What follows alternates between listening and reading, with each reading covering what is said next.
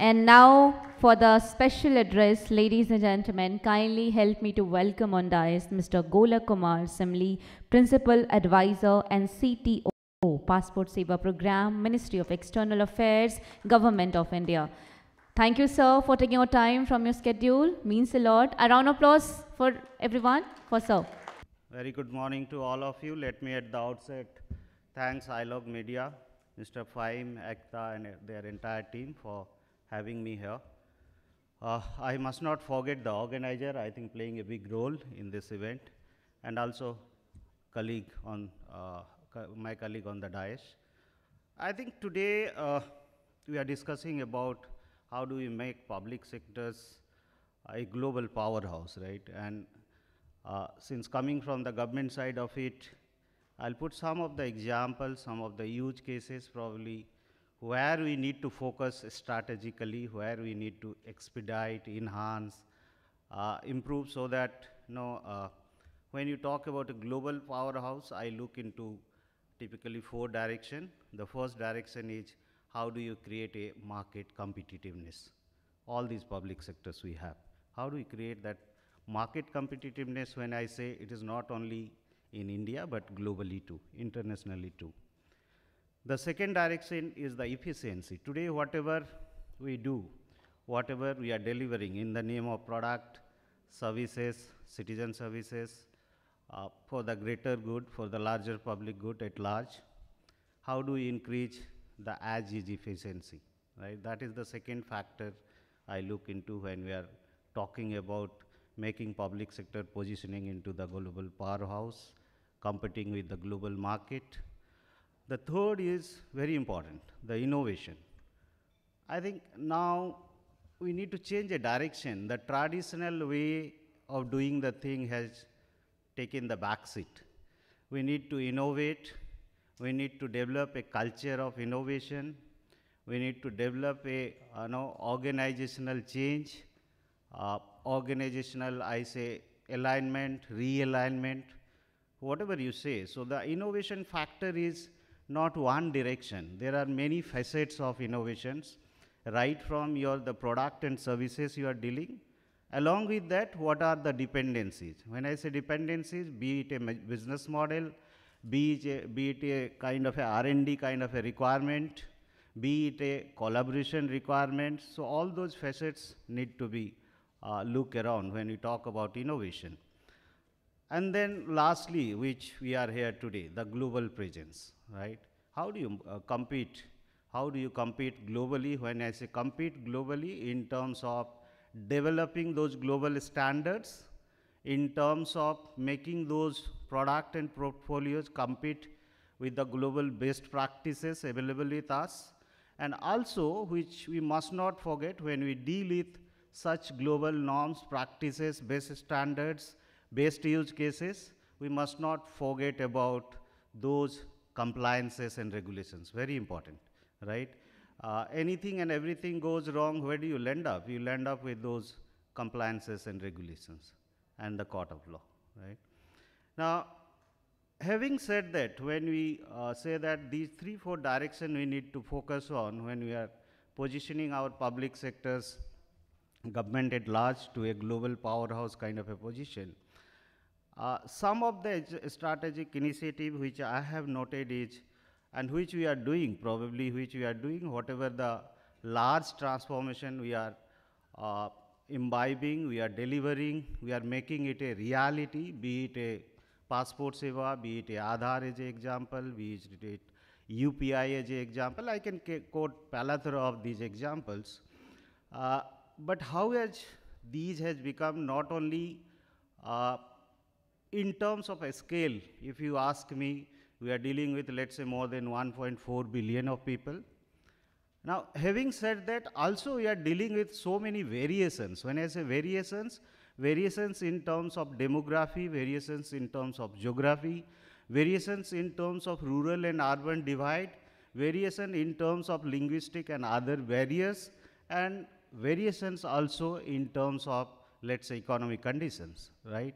And that's how uh, whatever we are doing in India as of now, and why is that these examples are becoming, uh, which I say greater good or larger public good, not only for the nation but globally too, because of this reason. Because when we do something, we must not differentiate, right? We take care of each of these variations and then we deliver at a larger scale, mass scale, which, which you are citing an example globally, right? And to do that, the first and foremost requirement is the strategic vision and leadership we need to develop within the public sectors. I'm not saying that it is not there, probably we need to enhance and improve.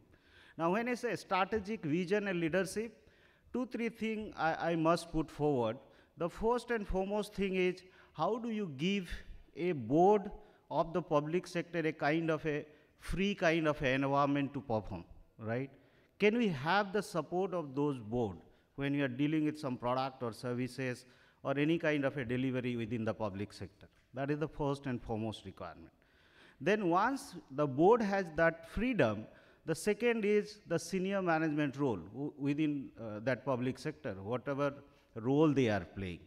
And then the third tier is the government officials who are there to perform in the field, right?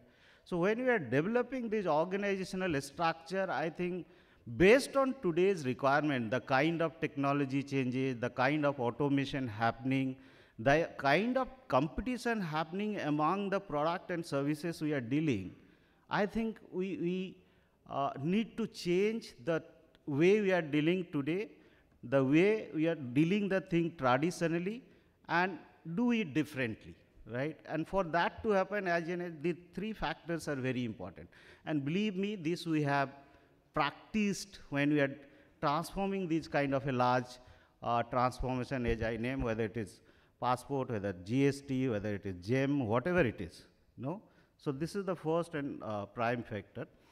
The second factor is, know, uh, we need to invest more and more on innovation and R&D.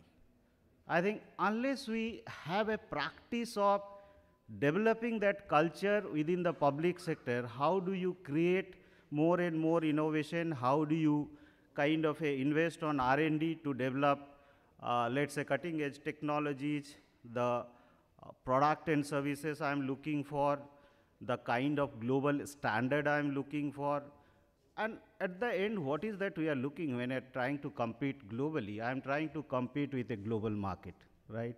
So do I have that synergy? Do I have that kind of a power of competing with the global scenario, right? So if not, then I have to strengthen my potential of innovation, R&D, and other requirement. The third bullet is the, in the strategic direction, what I find we need to work on is strategic partnership collaboration, and developing business model. Now, when I say strategic partnership, collaboration, I think one of the area which we are realizing is within India, it is happening. For an example, the passport seva itself, we have developed a business model where I am working hand on hand with a uh, private industry. However, when it comes to sovereignty, sensitivity, of the data, information, processes, it is within the government. But when it comes to non-sovereign function, creation of infrastructure, facilities, amenities, business model in terms of investment, the private partner is bringing in. And the beauty of this is, you know, you create a sense of, you know, kind of a resilience, you create a sense of service delivery mechanism, which is long-term, which is sustainable, and you also see that you know, you are continuously improving. And these partnerships, since now we have already developed within India, can we have such partnership with global best practice companies, right? Technology vendors, no? And all of these kind of a large uh, conglomerate, whether it is, know, I'm talking about IT sector, automation sector, agriculture sector, health sector, every sector there is a potential, but how do you bring in that strategic partnership, collaboration and business model? And that is the role I was hinting towards the board or the senior management we need to play. The one more factor is you know, which we call talent development and skill development. I think uh, we are realizing now saying that the way we are you know, trying to compete with a global market, the way uh, India is positioning as a hub of innovation, R&D, uh, citing example for global good. Uh, our talent, our skills also need enhancement, right? Alignment, realignment. And if you need to do that, the best way of doing is imbibe it as part of the business model which you are developing. The problem we land up is the uh, silo way of approaching the talent development or skill development. It must not be. It must be part of your business model. It must be part of your RFP process, business requirement process, and it should be a continuous process. And that's what I have done uh, probably in the Passport Seva program. The last thing is, I must say two more points, the customer-centric approach. And when I say customer-centric approach, first and foremost thing comes is something I call corporate governance. Do please do develop uh, a practice of fair corporate governance. And when I say fair corporate governance, there are again many facets, right from stakeholder positioning to your financial strength, to your kind of a ethics and moral, to your transparency and accountability, the risk management factor. So the first factor come to my mind when I talk about customer-centric approach is governance, governance issue. Today, the slogan is minimum government, maximum governance kind of a thing. But last and not the least is regulatory reforms and policy support. Here there are two parts. When I say regulatory reform and policy support, uh, government, what the best can do, what we can best can do is creating an environment of pro in terms of policy intervention, in terms of ease of doing business, in terms of taking industry into the forum, providing some sort of environment of, let's say, incentive for startups, MSMEs, creating that value proposition. But from industry side, you need to work, we all need to work, saying that how do you create a environment of trust?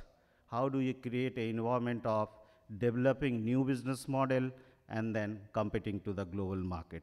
And at the end of the day, what we are looking is how do you drive our economic growth, whether I am talking about 1 trillion of digital economy, dollar 5 trillion of overall economy. The second best thing what we all are looking is how do you create more and more or develop a foster of innovation and R&D and third is the prosperity of the nation in terms of the greater good and larger public good. So I think these are the points I wanted to highlight uh, among all of us when we are making or positioning our public sectors, uh, competing with the global market, making them a global powerhouse, and that is the way we need to proceed. So thank you. Thank you once again, uh, Mr. Phaim and their entire team for having me here. Thank you.